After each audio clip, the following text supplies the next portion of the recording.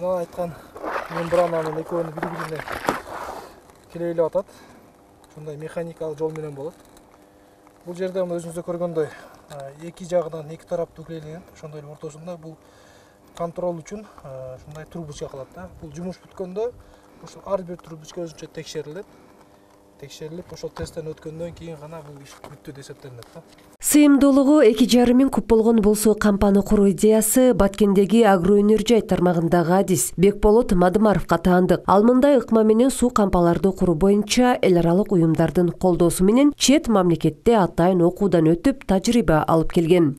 Негизи эле бунун чоң максаты чоң. Бул биз эле кыргызстанда эмес бүт дүйнөгө маанилүү. Ошонун ичинде кыргызстандын ичинде ушул баткен областына өтө өтө маанилүү деп айтып кете алабыз. Себеби дегенде өзүңүздөр билесиздер ушул баткенде болуп мына суу талаш көйгөйлөрү аябай күчтүү ошол эле мезгилде баткен жерлери көп көп пайызы өздөштүрүлбөй калып кеткен да. Анан ошол жерлерди өздөштүрүүгө бул тамчылатып суугаруу системасы ошол эле мезгилде заманбап көлдөрдүн курулушу бул баткен үчүн эң бир актуалдуу эң бир зарыл болгон иш чара деп эсептейбиз. Суу кампаны курууга жергиликтүү ишкер тарабынан эки миллион сомдун тегерегинде акча жумшалган ошондой эле он гектарга жакын жерге тигилген мөмөлүү көчөттөргө тамчылатып суугаруу системасы орнотулган. Адистин айтымында мындай жол менен биринчиден сууну үнөмдүү пайдалануу жана оптималдуу түшүм алууга болот.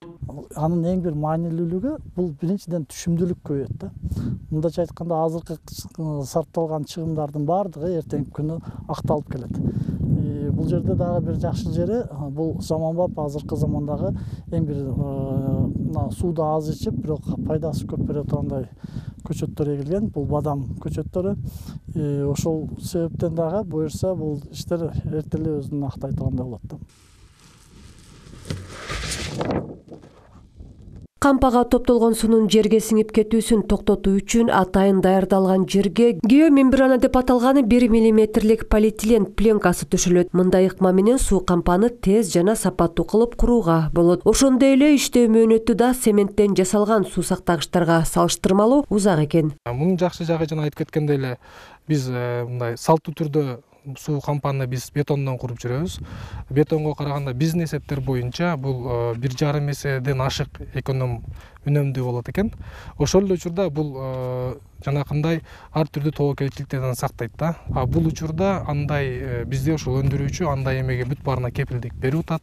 Бул геомембрана менен курулганда толук эч кандай суудун агып кетүүсү бул жерде болбойт жаңы курулуп жаткан суу кампага жакынкы күндөрдө суу толтурулуп он гектар жерге тигилген бадам жана чайырдын көчөттөрүнө тамчылатып суугаруу жолу менен суу бериле баштайт. Эгерде мамлекет тарабынан колдоолор болсо ушундай суу кампаларды какырап жаткан талааларга куруп жерлерди өздөштүрсө болот дейт адистер. Арзу галымбетова улан маккамбаев алтын бешик жаңылыктары